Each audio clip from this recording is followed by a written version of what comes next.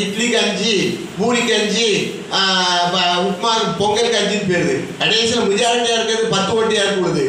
உப்மாவுக்கு தான் விடுது திரும்ப நினைச்சது இவங்க மாற்ற நினைச்சு எழுபது பேர் நினைச்சு நினைச்ச முடியல உப்மாவா மாற்ற முடியல.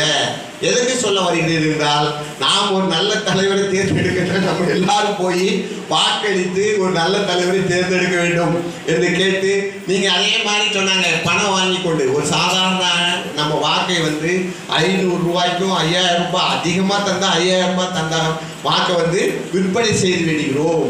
இந்த விற்பனை செய்யும் போது ஒரு நல்ல தலைவரை தேர்ந்தெடுக்க முடியுமா? முடியவே முடியாது. நாம வந்து நமக்கு நம்ம உரிமையை என்ன செய்கிறோம் உரிமையை விற்பனை செய்வது மிகப்பெரிய தவறு. அப்படி விற்பனை செய்யாமல் நல்ல தலைவர்களை அந்த ஐயாயிரம் ரூபாய்க்கு நம்மளுடைய உரிமையை விற்பனை செய்தால் அதனுடைய பிரதிபலனை அதனுடைய சங்கடங்களை யார் அணிவிக்கணும்? நாம தான் அணிவிக்கணும். ஒரு ஐயாயிரம் ரூபா முதல் போட்டவர் என்ன செய்வார்? ஐயாயிரம் ரூபாய் ஒருத்தர் முதலீடு செஞ்சு எவ்வளோ சம்பாதிக்க நினைப்பார்? ஐயாயிரத்தி ஐநூறு தானே சம்பாதிக்க நினைப்பார். கூட ஐநூறுரூவா வச்சு சம்பாதிக்கணும் தான் நினைப்பார். அவர் ஐயாயிரம் ரூபாய் நமக்கு ஃப்ரீயாக தராரா? இல்லை.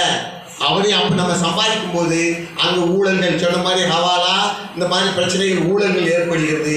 ஆமாம் இந்த வருங்காலங்களில் நம்ம உங்கள் தாய் தந்தையர்கள்கிட்டயும் உங்கள் சக நண்பர்கள் எல்லாத்தையும் என்ன யார்கிட்டையும் ஓ காசு வாங்கிட்டு ஓட்டளிக்க கூடாதுன்னு முக்கியமாக சொல்லணும். அது இப்போ நம்ம நாட்டில் ரொம்ப அதிகமாக வளர்ந்து கொண்டு வருகிறது.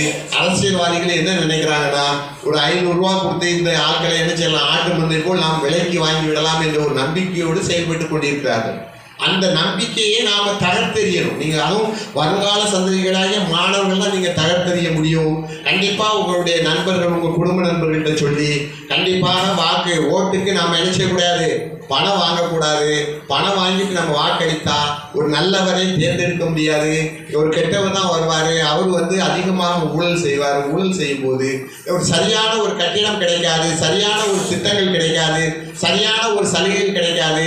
நல்ல ஒரு நமக்கு வாழ்க்கையே நல்லா இருக்காது பொதுவாக. அதனால நாம் நியாயமான ஆட்களை தேர்ந்தெடுக்கணும் உங்க குடும்பத்தாரிடம் தெரிவிக்க வேண்டும். இந்த வாய்ப்பளித்தமைக்கு நன்றி கூறி விடைபெறுகிறேன். நன்றி வணக்கம். அடுத்து வந்து இப்போ வந்து நம்ம வாக்களிப்பு மிஷின் வந்து அது வந்து இயந்திரம் வந்து அது வந்து தப்பாக போகாது. அது வந்து நீதிமன்றத்தை கொடுத்து வந்து நூறு பர்சன்டேஜ் வந்து பார்த்து தான் வந்து கொடுப்பாங்க. அது வந்து யாரும் வந்து சந்தேகப்படக்கூடாதுன்னு சொல்லியிருக்காங்க.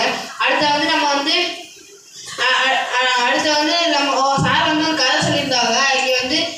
அவங்க மொத்தம் ஒரு பத்து பேருக்கு மொத்தம் எண்பது பேர் இருப்பாங்க. அதில் வந்து பத்து பேருக்கு வந்து உப்புமா பிடிக்குமா